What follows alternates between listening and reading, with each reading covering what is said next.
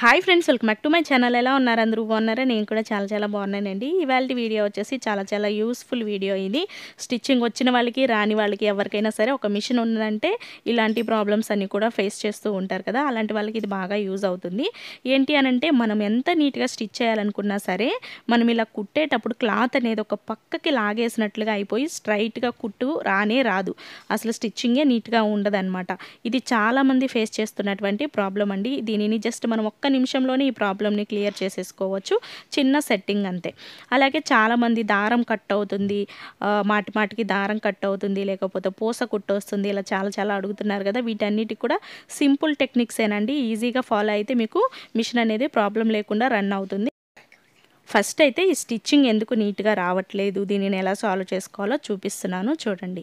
ఇలా మనం నార్మల్గా స్టిచ్ చేసేటప్పుడు స్ట్రైట్గా కుట్టు రాకుండా ఇలా సైడ్కు ఉన్న క్లాత్ని చూడండి ఇలా కుట్టు కిందకి లాగేస్తూ ఉంటుందన్నమాట కుచ్చు కుచ్చుగా. చూసారా? ఇలాగా. మీరు ఎక్కడ కుట్టినా కూడా ఈ ప్రాబ్లం అనేది ఉంటుంది. ఇలా ఉంటే చాలా విసుగ్గా ఉంటుందండి. మనం స్టిచ్ చేసుకునేటప్పుడు అసలు కుట్టు చూడడానికి అసహ్యంగా ఉంటుంది. చూసారా మీకు ఎలా వచ్చిందో? చూడండి మీకు మళ్ళీ మధ్యలో కూడా కుట్టి చూపిస్తాను. చూడండి. ఓకే? స్టిచ్చింగ్ అనేది అస్సలు బాగా రాలేదు. వీటన్నిటికీ కూడా మనము మెకానిక్ దగ్గరికి తీసుకెళ్ళామనుకోండి ఈజీగా ఫైవ్ టు సిక్స్ హండ్రెడ్ డబ్బులు అనేటివి మనం కట్టమంటాడు. చిన్న చిన్న రిపేర్సే కాబట్టి మనం సింపుల్గా చేసేసుకోవచ్చు. చూడండి మధ్యలో కుట్టిన కుట్టు కూడా మనకి ఎంత చిరాగ్గా వచ్చిందో చూడండి. చూసారా? అస్సలు బాగోలేదు. ఇవన్నీ ఇలా ఈ ప్రాబ్లం ఎందుకు వస్తుంది అని అంటే మనం కొంచెం హెవీ క్లాత్స్ కుట్టినప్పుడు లేదా మనం కొంచెం స్పీడ్గా మనం మిషన్ కుట్టినప్పుడు ఈ ప్రాబ్లం అనేది వస్తూ ఉంటుందన్నమాట. ఇలా వచ్చినప్పుడు ఫస్ట్ మీరు ఫుట్ని తీసేయండి. ఓకే? ఈ ఫుట్ని తీసేయండి. బోల్ట్ ఉంటుంది కదా బోల్ట్ తీసేస్తే ఫుట్ ఈజీగా వస్తుంది.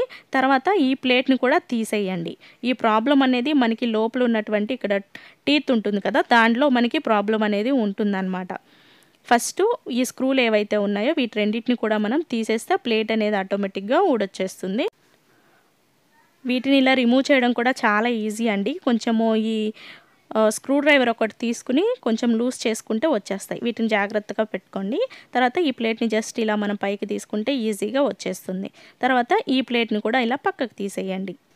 ఒకసారి మీరు ఈ ప్లేట్ తీసిన తర్వాత ఒకసారి టీత్ ఏదైతే ఉందో దీనిని చూసారా? ఇది ఎంతగా కదిలిపోతుందో. లోపల ఉన్నటువంటి ఈ టీత్ సెట్ అనేది లూజ్ అయిందనమాట. లూజ్ అవ్వడం అంటే ఇక్కడ నట్స్ ఉన్నాయి చూడండి.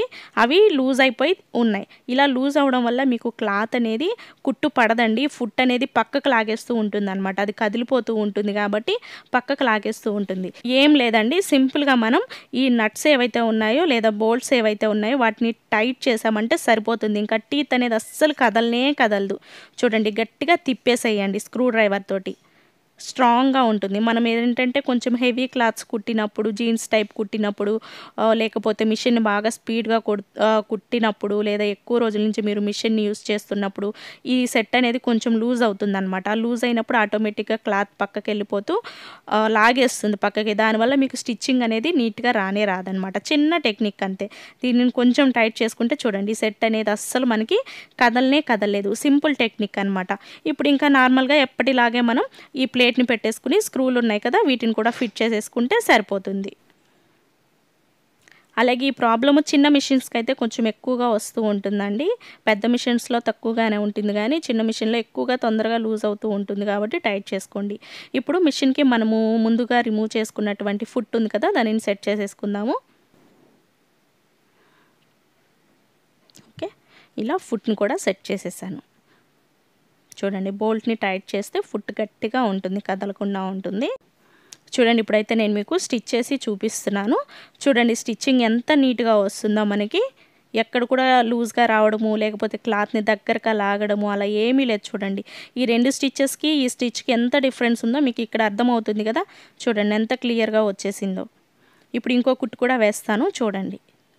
చిన్న ప్రాబ్లం పెద్దదే కానీ మనకి ఇది ఈ విషయం తెలిసిందనుకోండి సింపుల్గా ఒక్క నిమిషంలోనే మనం మెషిన్ అడ్జస్ట్ చేసేసుకోవచ్చు. కొత్తగా నేర్చుకుంటున్నటువంటి వాళ్ళకి కొత్తగా మిషన్ తీసుకున్న వాళ్ళకి ఇది తెలియదు కాబట్టి నేను ఇంత క్లియర్గా ఎక్స్ప్లెయిన్ చేస్తున్నాను చూడండి. స్టిచ్చింగ్ ఎంత నీట్గా వచ్చిందో మనకి.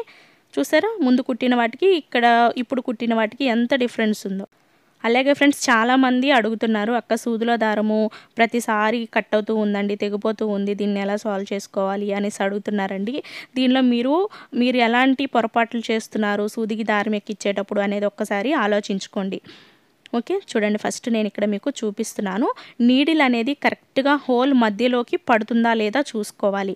హోల్ మధ్యలో పడాలండి. హోల్కి చుట్టూ కొంచెం అంచుకి రాసుకున్నట్టుగా అలాగా మీకు నీడిల్ దిగుతున్నా కూడా దారం అనేది కట్ అవుతుంది.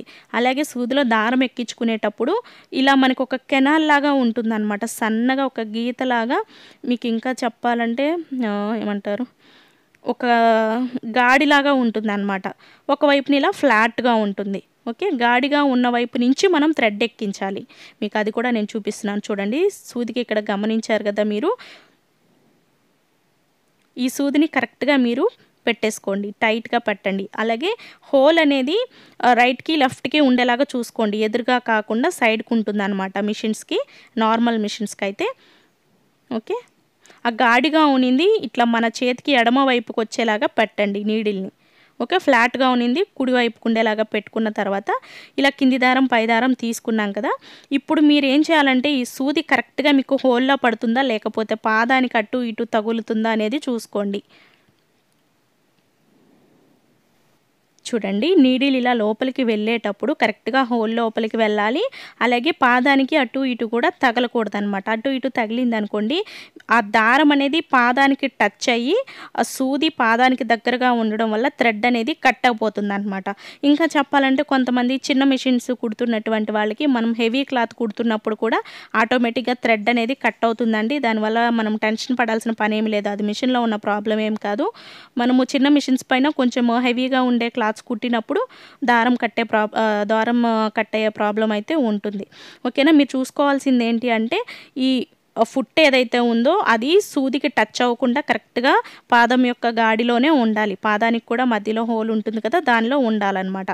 అలా చూసుకుంటే సరిపోతుంది. ఒకవేళ మీకు అది కరెక్ట్గా లేకపోతే అది అంటే మీకు నీడిల్ పాదం పైకి వస్తుంది పాదాన్ని టచ్ అవుతుంది అని ఉంటే మాత్రము అదేంటి అంటే మీకు మీ మిషన్కి ఉన్నటువంటి పాదం కూడా మీ మిషన్కి సెట్ అవ్వలేదని అర్థం అనుకోవచ్చు. అంటే కొంతమంది మిషన్స్ కొన్నప్పుడు పాదాలు కాకుండా మళ్ళీ కొత్తవి తెచ్చుకుంటూ ఉంటారు కదా తెచ్చుకున్నప్పుడు అవి సెట్ అవ్వకుండా కూడా ఉండొచ్చు. అదొకటి గమనించుకోండి. లేదా మీకు అలా ఎక్కువ ద్రా దారము కట్ అవుతూ ఉన్నా కూడా మనం మామూలుగా మెకానిక్ దగ్గరికి తీసుకెళ్తే ఆ పాదం రాడ్ అనేది కొంచెము పక్కకు అటు ఇటు జరిగినా కూడా మీకు అలా జరుగుతుందండి. దానివల్ల కూడా దారం కట్ అవుతుంది. దాన్ని వాళ్ళు సరిచేస్తారనమాట ఇంకా చెప్పాలి అని అంటే మనం క్లాత్ ఒక మూడు నాలుగు మడతల మీద కుట్టేటప్పుడు కూడా థ్రెడ్ అనేది ఈజీగా కట్ అవుతుందండి. అది పెద్ద ప్రాబ్లం ఏం కాదు. క్లాత్ దలసరిగా ఉన్నప్పుడు దారం ఆటోమేటిక్గా చిన్న మిషన్స్కి అయితే ఇంకా ఎక్కువగా కట్ అవుతుంది. ఓకే ఇప్పుడు పూస కుట్టు ఎందుకు పడుతుంది? దానికి సొల్యూషన్ ఏంటి అనేది కూడా మీకు ఈ వీడియోలోనే ఎక్స్ప్లెయిన్ చేస్తాను. ఫస్ట్ మీరు ఇలా స్టిచ్ చేసేటప్పుడు దారం అనేది ఇలా లూజ్ రాకుండా చూసుకోండి. ఇలా లూజ్ వస్తే మీకు పూస కుట్టు అనేది ఆటోమేటిక్గా వస్తుందన్నమాట. పైన నుంచి ఎప్పుడైతే మీకు దారం లూజ్గా కిందికి వెళ్తుందో అప్పుడు మీకు ఆటోమేటిక్గా పై దారమే కింద పూసుకట్లాగా కనిపిస్తుందండి. అది కింద ప్రాబ్లం కాదు. చూడండి ఇలాగా. చూపిస్తున్నాను చూడండి. చూసారా? మీకు ఇక్కడ ఎంత పూసుకుట్టు వచ్చేసిందో అంటే పైన మనకి థ్రెడ్ అనేది లూజ్గా వెళ్తుంది. ఇంకా చెప్పాలంటే కింద వైపు బాబిన్లో థ్రెడ్ టైట్గా ఉందని కూడా చెప్పొచ్చు. చూడండి కింది వైపు నేను బ్లూ కలర్ థ్రెడ్ పెట్టాను. ఆ బ్లూ కలర్ థ్రెడ్ అనేది స్ట్రైట్గా ఉంది చూడండి. ఓకే? చూసారా? అంటే ఇది స్ట్రైట్గా ఉందంటే ఇక్కడ కింది వైపు దారం టైట్గా వస్తుంది అని అర్థం అనమాట పై వైపు దారము కింది వైపు దారం రెండు సమానంగా రాకుండా ఒకటి ఎక్కువగా అంటే ఒకటి పైన దారం ఏమో స్పీడ్గా వచ్చేస్తుంది కింద ఉన్న దారము స్లోగా వస్తుంది అనమాట దీనివల్ల ఏంటంటే స్పీడ్గా వచ్చిన దారం అనేది ఇలా ఎక్కువ ఎక్కువగా కింది వైపుకి వచ్చేస్తుంది. కింది వైపు దారం చాలా స్లోగా టైట్గా ఉంది కాబట్టి ఫ్లాట్గా వస్తుందని మనకి అర్థం అనమాట చూడండి ఇప్పుడు దీన్ని ఎలా మనం సెట్ చేసుకోవాలో చూపిస్తున్నాను. చూడండి మెషిన్స్కి మనకి ఇలా ఒక రింగ్ లాగా ఉంటుంది కదా. ఇక్కడ మనం థ్రెడ్ స్పీడ్గా కావాలన్నా లేదా స్లోగా కావాలన్నా కూడా దీనిని అడ్జస్ట్ చేసుకోవచ్చు. మనకి దారం లూజ్గా వస్తుంది కాబట్టి ఈ రింగ్ని మనం కొంచెం టైట్ చేసుకున్నామంటే చూడండి దారం గట్టిగా ఉంది కదా. ఇలాగనమాట.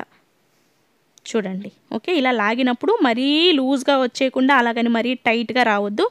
మరీ టైట్గా వచ్చినా కూడా మీకు థ్రెడ్ అనేది ఆటోమేటిక్గా కట్ అవుతుంది ఆ రింగ్ని కొంచెం టైట్ చేసుకున్న తర్వాత ఒక్కసారి మళ్ళీ మీరు కుట్టుకుని చూసుకోండి. ఒక వేస్ట్ క్లాత్ పైన మీకు స్టిచ్చింగ్ సరిగా వస్తుందా రాలేదా అని. చూడండి.